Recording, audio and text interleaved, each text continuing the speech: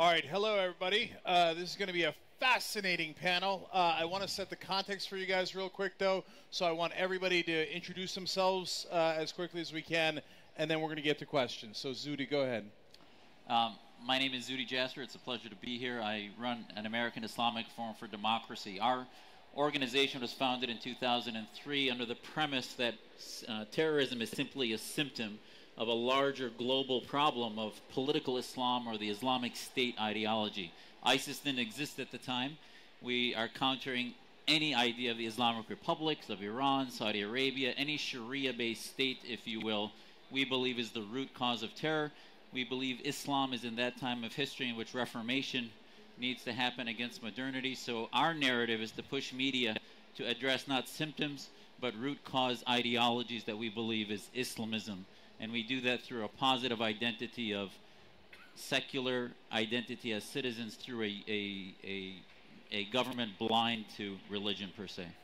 All right, so we will have disagreements on this panel. Bjorn. Uh, so, hi, I'm Bjorn, and thank you all for coming. Um, I work with the Khalifa Ihler Institute, which was started last year, building on a larger body of work, among others, with the Institute for Strategic Dialogue. Um, we focus on countering extremism and countering terrorism and general peace building um, working off of a platform of the understanding of uh, extremism as uh, the denial of diversity in some form or another. Uh, that builds on my experience of meeting with a ton of former extremists, people who used to be in various extremist movements, and learning from them about how they became extremists and how they stopped being extremists. Um, which was prompted by myself almost being killed by a far right extremist in Norway back in 2011 very, very happy to be here. Sasha Havlicek. I run the Institute for Strategic Dialogue, which I helped set up in 2006. Since then, we've been working to counter extremism across the ideological spectrum, from far right to Islamist, increasingly around the world. We've developed programs that are innovations in dealing with this problem, working with many, many partners. As we've seen the problem migrate online, since we're here at the Internet Forum, I should say we do more and more work, of course, with the internet companies, with technology and communication partners to look at how we can push back the radicalization challenge online. All right, great. Now, um, the point of this is to discuss terrorism within the context of the media and the narratives. So I know that some of our panelists uh, are, are, going to think that Islam is not necessarily the main form of ter- uh, terrorism or where it comes from in the U.S., particularly. And Zuhdi, you're in the U.S. Um, what's your take on that? Is Islamic terrorism the number one issue with uh, of, of terrorism in America, or no? Well, I think it would be, you know, uh, disingenuous to say that it's the only form of terrorism, but I think in order to cure each form, you don't take terrorism, which is a symptom, all as one block. You cure each problem with its root cause. I'm a physician. I treat sympt- I don't treat symptoms. I treat root causes. The disease and the cancer that causes Islamist-inspired extremism is Islamism. So, violent Islamism, the precursor of that, is nonviolent Islamism, no different than Nonviolent anti Semitism is a precursor of violent anti Semitism. Violent homophobia is, a precur- is precursed by nonviolent homophobia. So I can help you as a Muslim by countering Islamism. Terms like Islamophobia, I think, stifle the conversation. I think looking at Muslims as simply a minority in the American context rather than having a unique responsibility in a laboratory of freedom to counter the root causes that exist in Iran and Saudi Arabia and Egypt where they can't do it. We had a massive opportunity, Cenk, in the Arab awakening that the United States, because of its ethnocentrism, of looking at Muslims only through the lens of who we are as a checkbox for the left or the right in America, rather than globally, where 1.6 billion Muslims are going through a disruption process, which I think forums like this should be leading, which is internet companies should be giving Muslims a handle and the respect, a tough love to counter our establishment that is the root cause. And in America, our dialogue, unfortunately, has been which party can really protect Muslims or the security issue rather than looking at the narrative globally.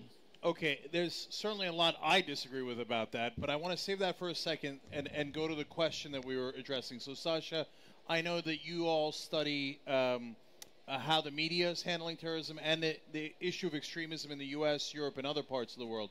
So in the U.S., to the same question that I asked, is Islamic terrorism actually the number one problem uh, in terms of terrorism? Well, it's interesting in terms of terrorist attacks, successful terrorist attacks. Since 9/11 in the U.S., 75, I'm sorry, 73% of those have been linked either to white supremacist groups, anti-government, anti-establishment groups, or neo-Nazi groups. Uh, but I should say, what we've learned working across different ideologies now for a decade is that um, the anatomy of extremist groups is much the same. It posits the superiority of an in group over all other groups and uh, propagates an us and them narrative. Uh, first, potentially quite uh, non violently, and then, of course, progressively more and more violently. All of those ideological streams, from fascism uh, to Islamist extremism, are a massive problem, and they share a lot in common. We learned that bringing together former extremists from across the ideological spectrum and starting to work with them, build a network, and understand with them how do we start to unplug this problem? How do we both prevent and bring young people often out of these movements? So, Bjorn, it sounded like what you were saying is that you're trying to study all the different forms of extremism and break down the root cause, which could arguably be the same as what uh, Zuhdi's saying, um, but he's doing a subset of that. Is that right or wrong? Uh, and, and do you agree or disagree with his take on it? Well, I, I do to some extent agree with him, and I think he is working on one subset, and I think that's very helpful to, to address the issues of that one subset. But what I want to do is look at extremism as a whole and see what are the unifying factors behind these subsets of extremists. And so if you look at Islamism, yeah, behind Islamism there is Islam um, as an ideology. Behind the far right extremism, there's far right ideology. Um, you can look at the ideologies, but what the unifying factors are is uh, things like people seeking some sort of belonging somewhere, some sense of purpose, some sort of wanting to change the world in a direction where they take care of who they see as part of their group or their tribe, and there's kind of that tribalism is, is a problem. And um, what Sasha said there is uh, um, it breaks down to us and them. It breaks down to who is in the, in group and who's in the out group. And so the way in which I've defined the problem essentially is by looking at diversity and saying that violent extremism is the violent denial of diversity. It's the violent denial of difference, of people having different opinions or a different way of life or a different religion or you know a different skin color than what you have. And so a violent extremist is someone who wants to exterminate the people who are different from them. And the antithesis to that is diversity. It's making people accepting of the fact that people are different and that we can live together peacefully and be different. But and so I work on uh, trying to widen people's horizons and um, and uh, trying to make people feel comfortable enough with their own identities to not feel threatened by other people having a different identity than them. Okay, I, am going to go to Zuhdi next, but I just want to say that uh, I never thought about it that way. Uh, that it's not like when you think about the 9/11 bombers, they weren't like, "Hey, Buddhists, Jews, you're all welcome," right? Or Breivik, or any of the guys who uh, are on the uh, right-wing extremists. They they do not welcome diversity. That that is a, a unifying factor. I have to honestly admit, after all the years years that I had missed, so it's really interesting addition to the to the uh, dialogue. But Zuhdi, you wanted to jump in. Yeah, I wanted to say that there, you know, just to simply elucidate one point, which I think is really important, is the conflation of extremism by fascist groups in the West, white supremacist groups, whatever they might be, with Islamist extremism, just because they use the same tactic, which is to violently kill innocent people, is, I think, very detrimental to treating the problem across the Muslim world. The reason it's detrimental is it's ahistoric. The West is living in a bastion of secular liberal democracies. Yes, they've reverted to fascism in the last century, and then after World War II, that went away. So I'm not saying that isn't something to pay attention to, which is hyper nationalism. But to say Islamist extremism is just all the same thing is absurd because it, in a way, negates the harm of hundreds of governments that are running hundreds of millions of people across the planet the theocracy in Iran, the Islamic Republic of Pakistan, the Wahhabis of Saudi Arabia, the Ikhwan al-Muslimin in, in, in, in Egypt, the Tunisian and Ennahda, the AKP in Turkey. These are huge Islamist movements we can choose to take on their precursors, which are the abuse of women, the hate of other faiths, the hate of moderate Muslims, apostates, blasphemy laws. And if you conflate that with simple hyper nationalism in the West, because they use the same tactic, you are going to avoid and actually anesthetize Muslims to the solution that we need globally, which is the overthrow of the regimes. You can't solve ISIS. I'm from Syria. My family's from Syria. You can't solve ISIS with Assad in power. You need a democratization of Syria. No matter how ridiculous you think that thought is, you will never have terrorism go away. It'll continue a whack a mole program unless you democratize and secularize those societies. I think we agree I there. completely agree on your point about Assad. Absolutely impossible to proceed without that. But make no mistake, uh, extremists, neo-Nazi, uh, all the, there's a wide spectrum now of far-right groupings that are connecting the dots and tactically allying. And their objective is the same. It is the overthrow of the system, of the democratic system. They may not be quite as successful at it at this point in time as many of these other groups you're talking about, but they are on the rise. In Europe, across Europe, we've seen this is an undercurrent that ebbs and flows depending on the time. But this is a major systemic challenge now for many, many societies. Let's not underestimate it. But the systems overthrow piece is what, uh, what I think we need to be clear about. These are, many, in many ways, the same beasts, though one is theocratic in its orientation and the other may not be. But the ideologies are very similar. And, and Zuhdi, there's a, another problem that arises from your line of thought, uh, which is, um, first of all, I, I think factually you're incorrect. Uh, you know, you, you talk about Islam needs reformation, and it's a standard talking point that I hear, uh, and oh, it's 500 years behind. Well, no, uh, Islam was, uh, in many respects, in earlier empires ahead of Europe. So it's not a simple matter of a timeline. And you and people make it seem like Christianity is hunky dory and a wonderful Reformation. Uh, the Holocaust was what 70 years ago.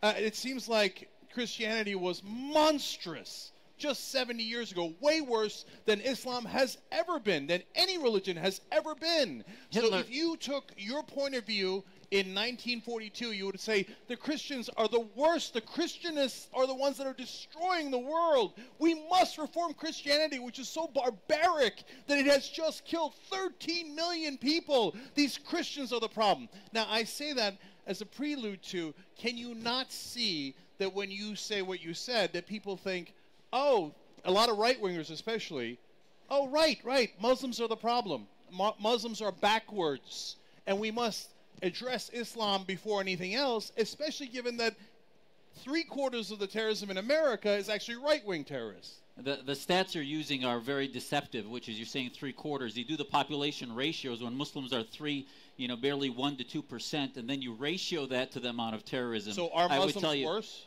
I'm telling you that Muslims need to be not treated as children and infantilized, but rather treated as adults, which is that you have to expect of them not to view us in a narrative of we want to coddle Muslims and ignore the fact that in most of the mosques women are are separated, they're not on boards, they can't even be seen at the base of the mosque in the in the uh, in the main center of prac of prayer worship and then we tr- we ignore all of that because we want to use them in an identity politic for our partisan politics. And to say that Hitler and other fascist movements were Christianists, they weren't s- citing from Scripture. They weren't wearing Yes, robes of the Church of That England. is and literally not true. Well, th- Uh, he- it ignores it ignores the Jesus Christ." Enlightenment and the the 30 years war in which 8 million people died that was against theocracy america's foundation was against theocracy hitler's movement was a racial fascism that wasn't about theocracy and i'm telling you now that if you're going to defeat islamist inspired terrorism isis gets its ideas. The founding fathers of ISIS are the Saudis. The Wahhabi ideology, they've beheaded more people in Saudi Arabia than ISIS has in the last year. If you want to defeat that, we have to stop coddling governments like the Saudis, saying that they're reformists when in fact they are putting the nails in the coffin of most reformers like myself. We have a reform movement that has a declaration that's two pages why don't they have us when you talk about diversity in the muslim community instead of putting the same old islamist organizations up that say oh we are the victims and we are being criticized by islamophobia islam is an idea it doesn't have rights muslims have rights Islamophobia is a term generated by these governments to prevent online media critique of Islam and its need to reform. So the narrative you're giving actually empowers the regime's PR mechanisms through media to, to make you afraid to criticize Islam because Muslims in America would be the victims of your narrative. And that is absurd. We're adults. We can take we can take care of ourselves and when you're talking about Muslims as diverse, instead of putting an Egyptian, a Pakistani, and a Syrian as a diversity, how about you put a liberal Muslim, conservative, a gay Muslim, a, a, a socialist Okay. Muslim as diversity, which you're not seeing right now? Yeah, I, well, if you watch our show, you would know that we attack uh, Saudi Arabia, the government of Iran, uh, oftentimes criticize very harshly Turkey, etc., for the fundamentalist tack that they're taking. You can criticize Islam. I'm, uh, by the way, I left Islam, so you might think that perhaps I'm the Muslim and, and he's the atheist. I'm actually the atheist. He's the Muslim. So you should be Uh, working with us rather no, than. no, because Zuhdi, what you're doing is stigmatizing 1.6 billion people, and I, I, I might not be among No, them, you but. I care about them. You're stigmatizing them by saying the Islamists speak for us. They don't. No, by no, no, ignoring I'm not the saying that. You're issue. saying Okay, that. it's such anyway, a tired- okay, Sasha, I got to come to you. Hold on one second. conversation. Yeah, because we should all be fighting together. Ultimately, we're looking at fighting for a pluralist environment which enables the freedom of every individual. And so this slinging match isn't getting us there.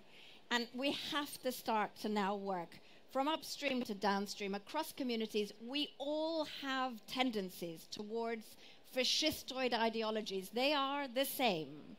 They seek the same thing.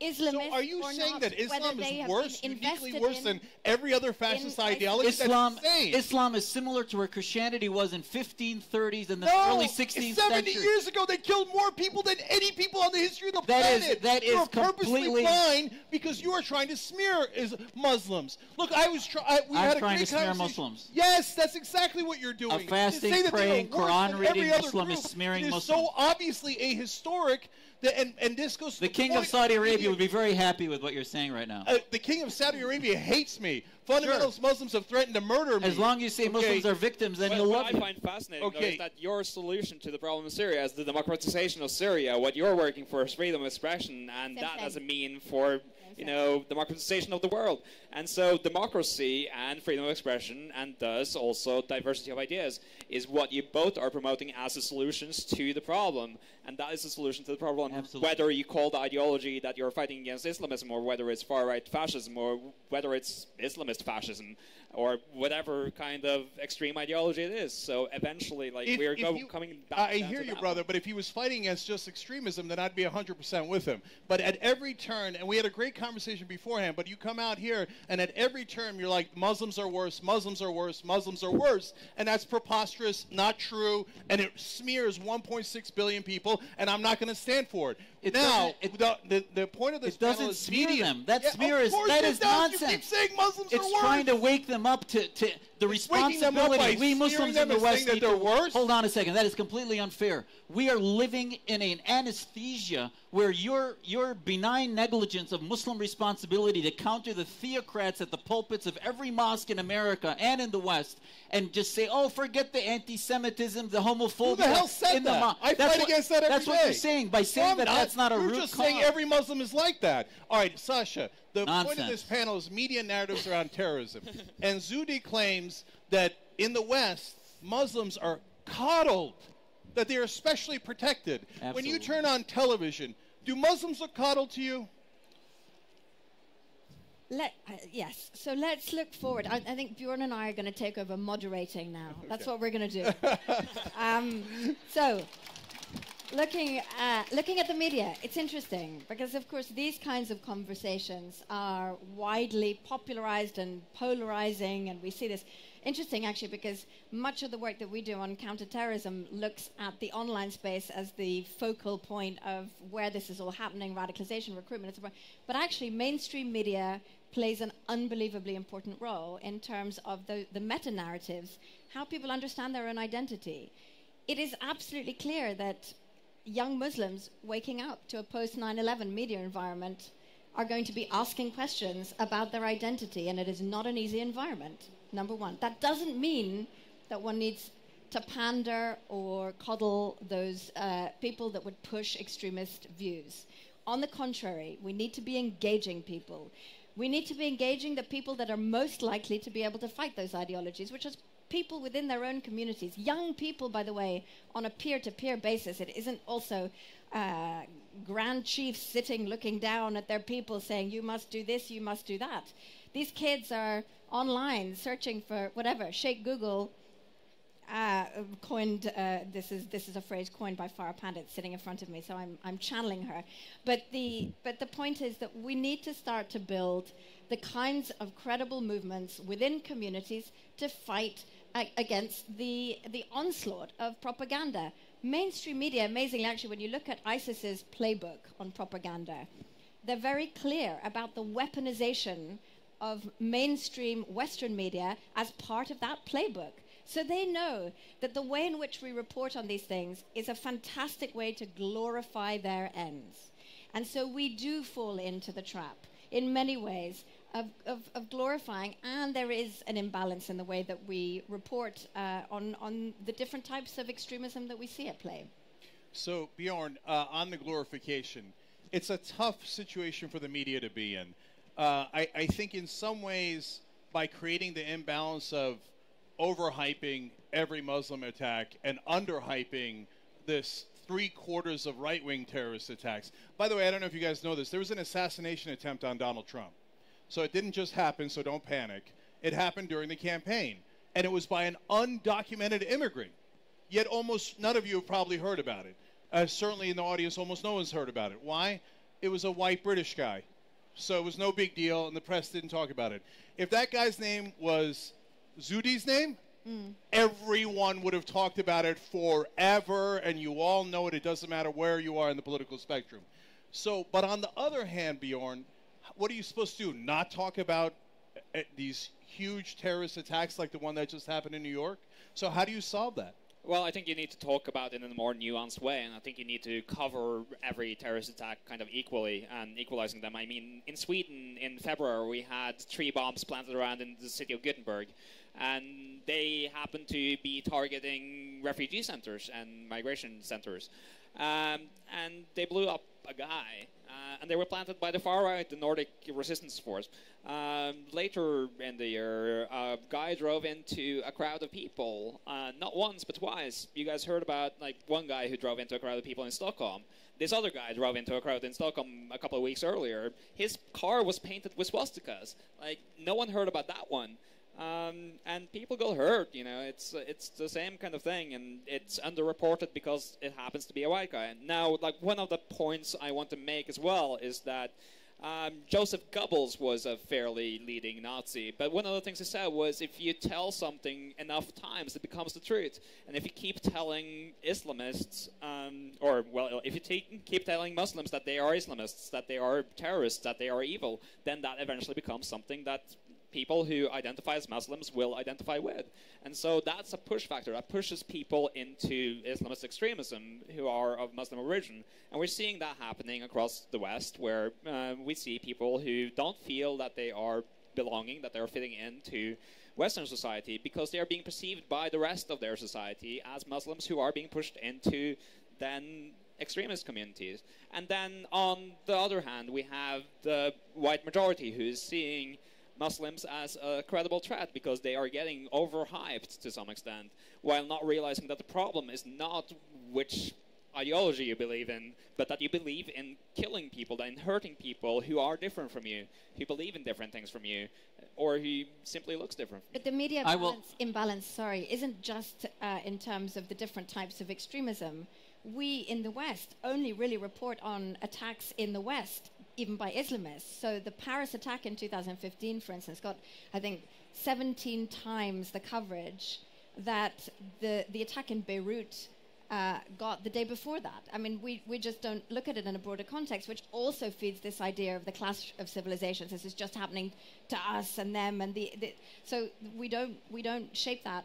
Le Monde has taken an interesting approach to this. The French newspaper, they have stopped um, publishing photos of terrorists and their names. and of course, they report on the attack. and then and then others have looked to focus on the victims and name them and give them their place in this space. So I think there are ways in which one can report in more innovative ways on these attacks without glorifying. Yeah, uh, at the Young Turks, we uh, after the first day, we try really hard not to show the picture or name either the terrorists or the mass shooters. Because I agree with Bjorn, I think they're looking for glory in all the wrong ways, and we don't want to give them that glory. But Zuhdi, I, I wanted to let you jump in and also ask you, following these, um, so do you think that the mainstream media in the U.S., where you're from, is handling it appropriately? That they should be focusing more on the Muslim attacks, or maybe even more so than they already are? Well, again, I, I don't know if I'd compare them. I think each one has issues, whether it's on the the the, the radical psychopaths that do what they do at the ch- church recently, et cetera. That needs to be addressed as a psychiatric issue. That we're not treating mental health well. But when it comes to Muslim uh, radicals or Islamist militants, if you will, I would ask the media, and the reason I've taken the time to come from Arizona to this meeting is the Middle East transformed itself. Now it's gone steps backwards, but it was for the first time. My grandfather was in and out of jail under the Ba'athist. My parents escaped Syria. 2011 was a watershed moment, a, a tipping point in, in history over the past hundreds of years that was an opportunity to finally defeat the root causes. It was changed by Google, Twitter, YouTube. Syria was the YouTube revolution that now we've sort of turned a blind eye to. We're not looking to the use of chemical weapons, etc. And to mistake the deep, direct, covalent connection between those dictatorships, the Arab awakening, and the means for disruption, I would tell you that Muslim communities would benefit from disruption, whatever it takes to disrupt us. The narrative, because Muslims are three or four million Muslims in America, the the minorities living in the West, we have a laboratory to do things that needs this networking to be done in order to bypass the current establishment power structures that are ossified and fossilized in the 8th and 9th century. They're not advancing. And in order to do that and have that discussion, it has to be had in the media. The media has to have that. Social media, traditional media is not having it because left and right, the left says it's all a psychiatric issues, the right says, well, Islam is the problem. In the middle is 90% of the, of the free world saying, where are you guys? Where's your diversity? And we need to have that conversation, and it has to start here in social media. But Zuhdi, it, it sounded like, but I want you to clarify, that you were saying that in the case of the mass shootings and the non Muslim extremism, it's a mental health issue.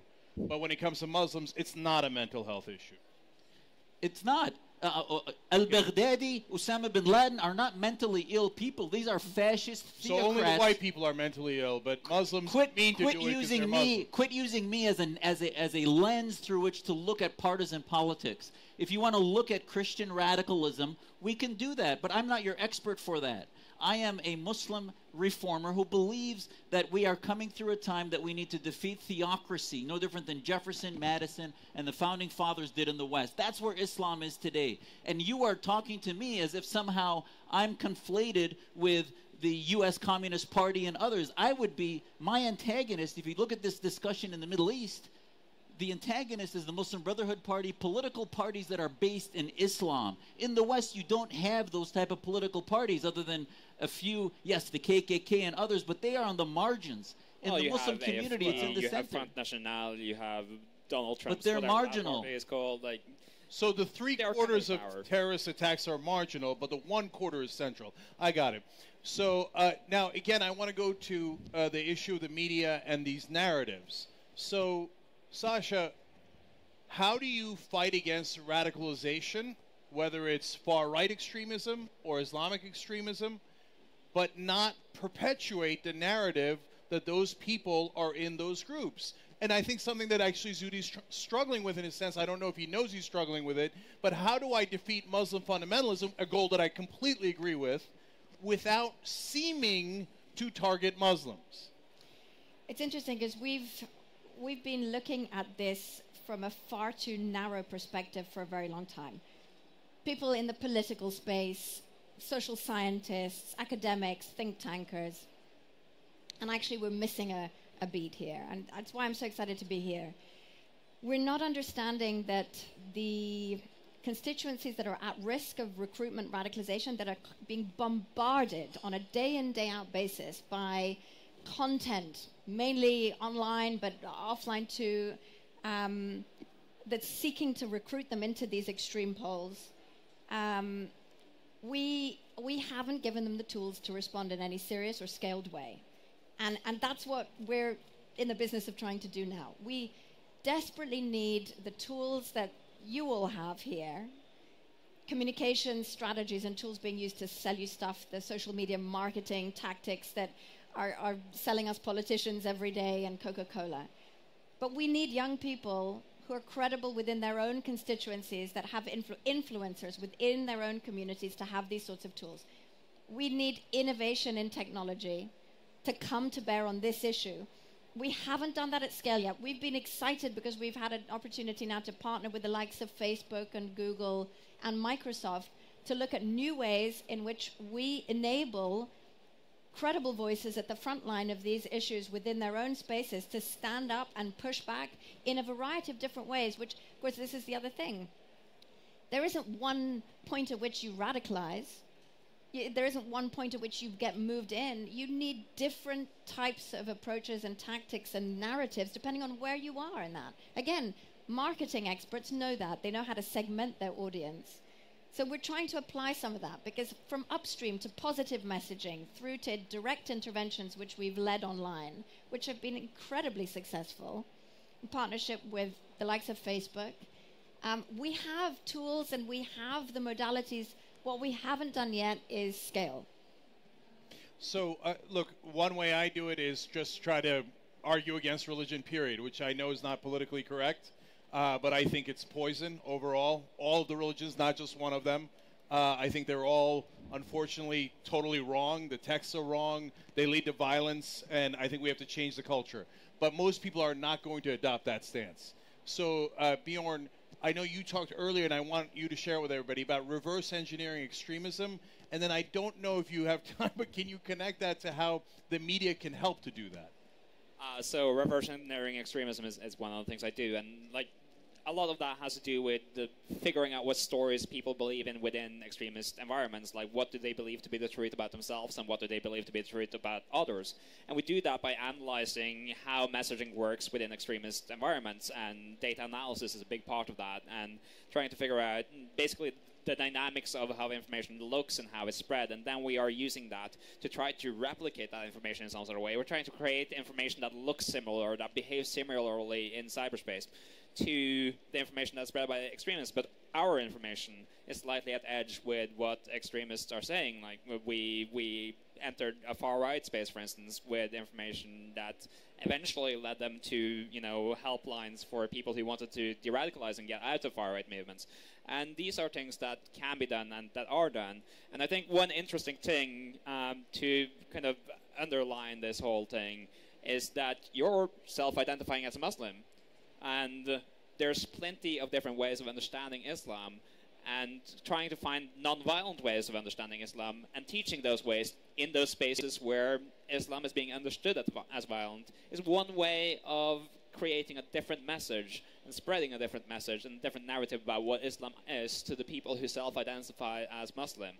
And I think that is something that should be done to a much larger extent than what it is right now. And I think the media could help in that, both in creating better messages for very specific spaces, but also in creating a better, larger overall narrative of uh, who we are as the majority and how we should relate to our minorities and how we should speak to each other and how we should understand each other's cultures and religions. So uh, we're out of time. I want to do very specific thank yous here because Sasha's been working on fighting extremism for over a decade and, and helped Bjorn to get his group started. Bjorn not only survived Breivik's attack, but believes that uh, he should have the same human rights as everyone else's and has fought for that. That is a la- level of magnanimous behavior I cannot imagine. And he was almost murdered by Breivik, and to, then to fight for his rights is amazing. And Zuhdi to have the courage to come and, and disagree, and, and honestly, it's you know in a in a situation where not everybody agrees with you, and to fight for your principles, even if we disagree. Thank you f- so much for doing that, Thank and thank you all for listening. Thank you. Thank you.